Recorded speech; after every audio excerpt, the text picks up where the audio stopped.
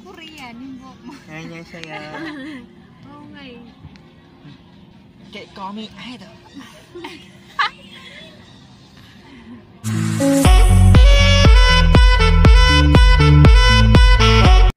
What's up mga katopa peeps? Welcome back to Team's World. So for today's vlog, uh, pumunta po kami sa Alabang Star Mall para mamili ng aking uh, susuotin for the photo shoot on June, June 29. So, I think mauna naman to sa photo shoot. So, mapapanood niyo pa yung kung ano yung mga pinamili kong uh, damit and all. And maganda na rin tong uh, kumbaga opportunity to share to you uh, option kung saan pwedeng bumili, ano yung mga dapat bilhin, lalo na kung ang hanap nyo is Korean style. Kasi yun yung uh, pinag-usapan na style na susuotin namin. So tara, samahan niyo po ako kasama si Ate Mumadjo sa ating uh, adventures again sa Alabang Star Mall. Kasi usually, doon talaga kami nabili ng mga ganong damit. So we're here now at Alabang, ano nga ba? Star Mall. So, actually, biglaan kong naisip lang na i-vlog ito kasi uh, mamimili kami ngayon ng damit ko for the photoshoot. So, nag-vlog na rin ako kanina tungkol do sa Oppo F11 Pro Experience. Panoorin niyo po yun. Uh, that, today is day 7. Pero itong uh, clip na to is exactly for uh, the yung paghanap ko nga ng damit. So, dalawa yung kailangan kong damit. One is Korean style uh, casual, tsaka yung isa ay normal casual. Yung regular casual na kung ano man yung trip ko. Sorry po. Yun, nahimunta. So, samahan niyo po ulit ako and So, mga katopa peeps, uh, actually second store na namin to. Hindi ko na na-video dun sa first store. Kasi medyo na-disappoint ako dahil hindi ko, meron nakita na akong gustong gusto ko na talaga asing pabili na kami. Kaya lang ay walang size. So, ito yung second na natiningnan ko na napag gusto ko. Check ko na lang kung kasya sa akin. So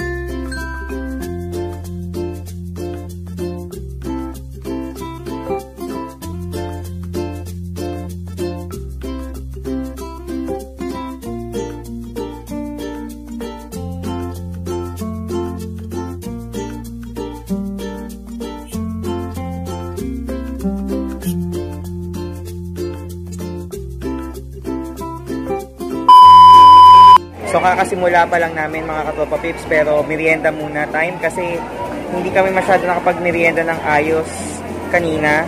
Uh, siomay lang sa bus station. So I'm here at ano, uh, sa Tok Tokiyaki stand. So ito yung may meriendahin ko ngayon and after this balik na tayo sa paghanap ng uh, damit.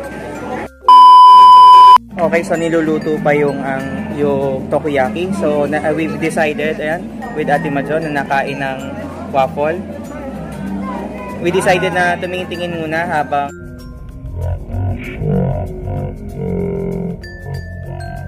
Ginagawa mo! Habang naghihintay maluto yung takoyaki para hindi na masayang yung oras. Kasi late na rin kami dumating dito and until 9 lang naman yata yung mall. So, let's check it. So, nakakita naman kami ngayon ng turtleneck. Ayan, kinukuha na ni ate. Uh, I think susukatin ko muna yung turtleneck uh, just to check kung okay siya for my outfit.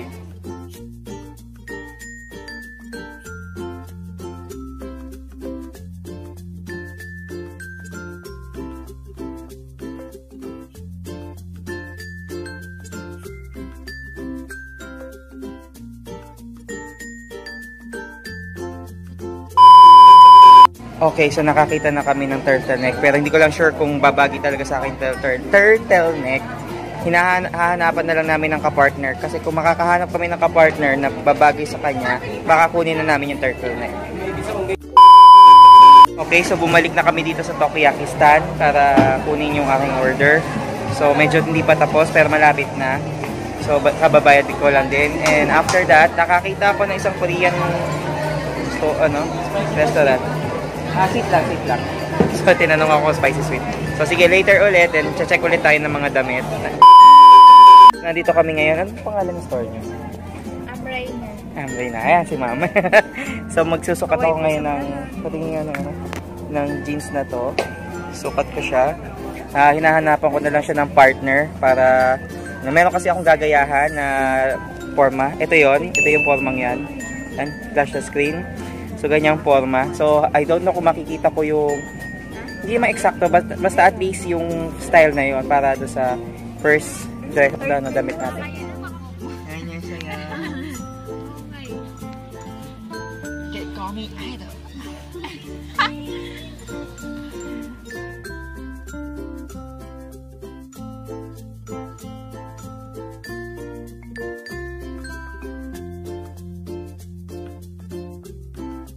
So yan po mga katopa babes, nakabili na po kami.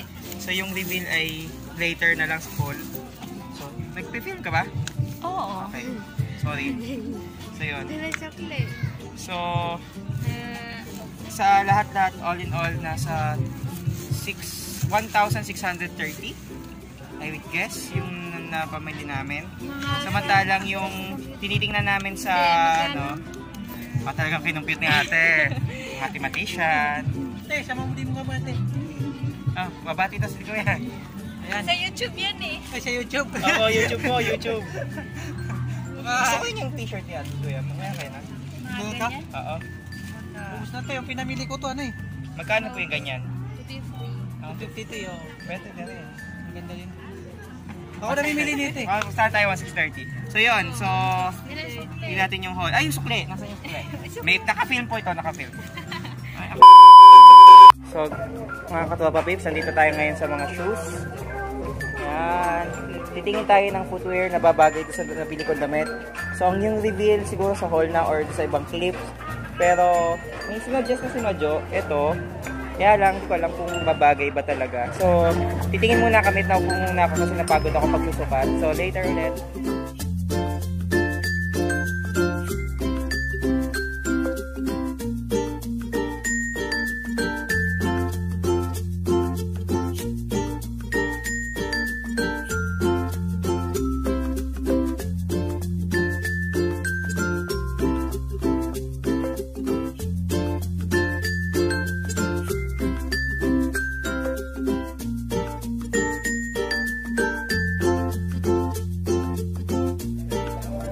Okay na. So, ito na pala. Sir. So, ito siya. O, di ba? First time ko mag-shoot ng ganito. Just for the photo shoot. So, okay mga katapapix. Tapos na ako mamili. So, ganito po karami yung pamili namin. Dalawang eco bag. Kasi dalawang klase ng uh, clothes.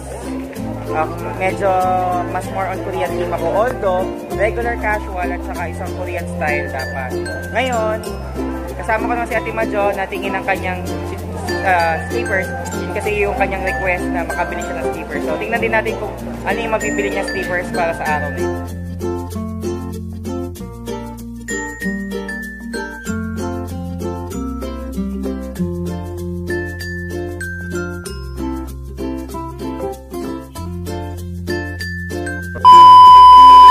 Okay mga katwapa pips, wala na kami doon sa Changi sa Alabang. So si Majo ay nakabili ng 2 pairs. Tama? Ay hindi, 4 pairs of slippers. Tama ba? Uy. Ah, 4 pairs of slippers. Ay, yung isa para sa kanya, yung isa para kay mama, yung isa ay para kay ate, yung isa ay para kay Kira. So ngayon, sisilipin lang namin yung ah, Xiaomi kasi mahilig ako talagang maningin ng gadgets. And then, after nun, kakain na lang kami. Then, after kumain, siguro uuwi na kami. I don't know lang kung dito na ako mag-go-haul or sa bahay na lang. So, abangan na lang natin yon. Okay mga katwapa pips, so i-haul ko na yung aming pinamili kahapon sa Alabang Star Mall. At let's see. Kunin ko na. So first is this shirt. Yan. This ano? Hindi mas ah, stripe oh.